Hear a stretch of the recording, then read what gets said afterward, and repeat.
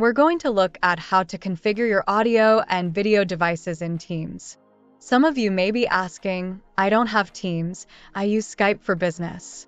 And that will be true until 2021, when Skype will then be retired.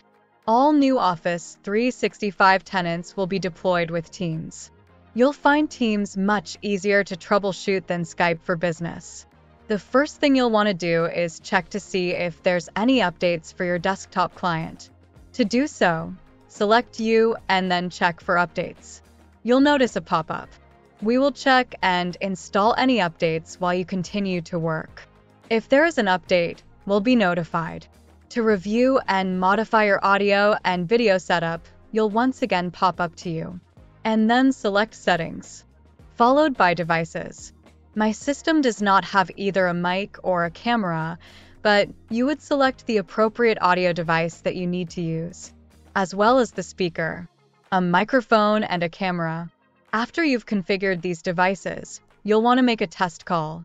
This is when you record your message, and as you can tell, I do not have a microphone there.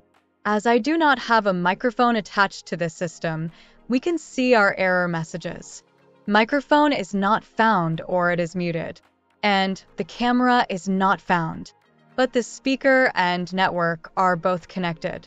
If you have speakers, a mic, and a camera attached to your system, but Teams is unable to use those devices, you'll want to reach out to your IT help desk for additional support.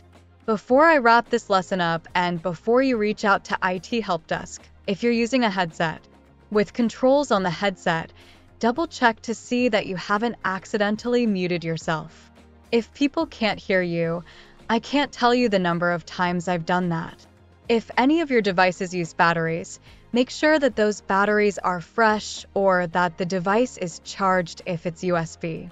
Again, speaking from experience, for the most part, Teams is incredibly easy to set up and configure, and you probably won't have to make adjustments to these settings that often.